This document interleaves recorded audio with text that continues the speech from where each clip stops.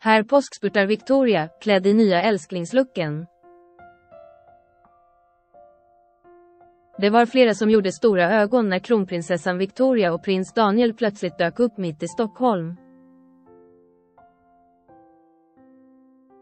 Kronprinsessan Victoria och prins Daniel har tagit vårsemester och åkt på påsklov, men innan de lämnade Haga så fick vi se en intensiv slutspurt. En eftermiddag hos finansminister Elisabeth Svantesson på Jakobsgatan, mitt i centrala Stockholm.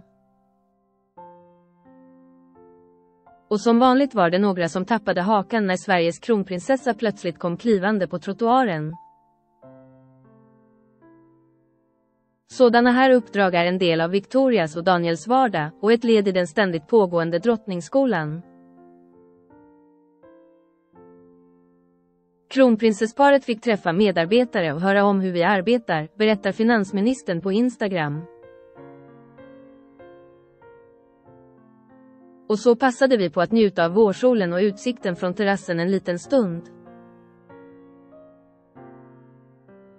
Kronprinsessan Victoria hos Stockholms Stadsmission. På förmiddagen hann kronprinsessan även med att besöka Stockholms Stadsmission och deras mötesplats Mariatorget på Södermalm. Det blev ett fint möte med några av deltagarna i den lokala livsberättargruppen, som startats för att bryta ensamhet, förebygga depression och ge ökad mening och delaktighet i livet. Och dagens kungliga look. Ja, denna snygga och bekväma outfit i kashmir.